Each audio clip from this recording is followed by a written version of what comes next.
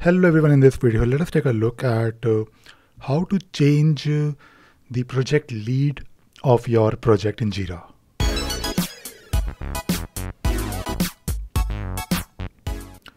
There was a question on the community uh, recently about uh, how do I reassign a project to a new project lead. Now in Jira of course you can uh, set a project lead but it can be a bit uh, confusing when you have to change it in future. So if you look at your uh, Jira instance, let me uh, go to the uh, project, one of my project. And uh, when you're looking at your project, you uh, can definitely do a lot of changes. You can uh, configure a lot of things. But after creating the project, many people get confused with changing the project lead. So let me go to the project settings first I'll just uh, wait I'll just uh, refresh it again. I think uh, it didn't load properly. And now my Jira instance uh, is down. So let me let me open uh, one of my cloud instance of Jira.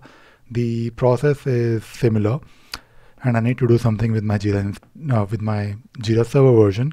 So let us say if you're working on one of your one of your project and right now I'm on cloud you can go to the project settings. Of course you can see the lead here but there is no option to change the lead from this interface at least.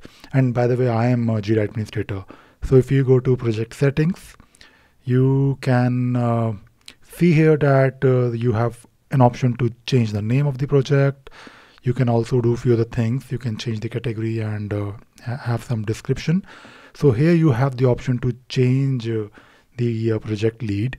And uh, this is something that you can do to change it to maybe someone else.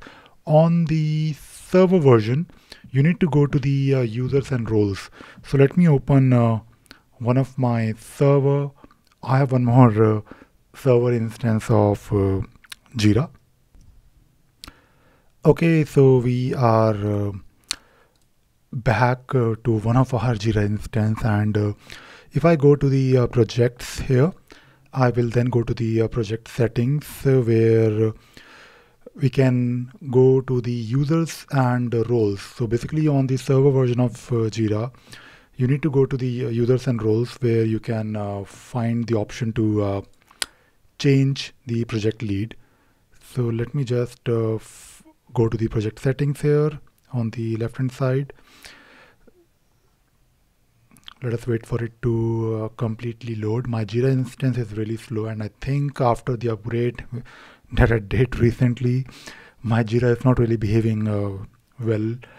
Uh, i need to do something about it. But anyways we'll uh, figure it out. We'll probably make another video on uh, troubleshooting jira. If your jira is uh, down regularly if people are facing problems what else what all you can do and uh, there are different things that you can do. You can of course start doing troubleshooting looking at the log files.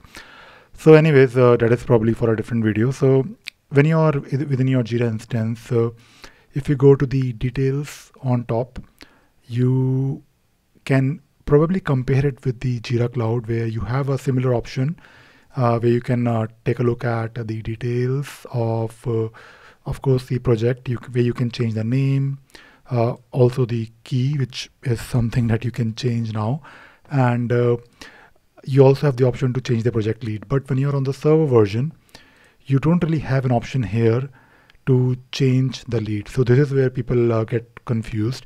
But there is another way. There is actually a way of doing it when you go to the users and roles uh, on your jira server version. And uh, then you will find the option to uh, change the project lead. Now, if you click on the edit defaults on the top right corner, you have the option to uh, use maybe a different name here. Maybe I want to change it to maybe Gary. And if I do an update, now you have a new project lead. So this is something that uh, you can definitely do. Uh, and uh, it is not really something very obvious, not really very intuitive. I don't know the reason why uh, on the server version there is no option to do it uh, from the details section within your project settings. But uh, anyways, now you know how to change the project lead both on Jira Server and Jira Cloud version. So I hope you found this video useful and you learned something new today. Thank you very much.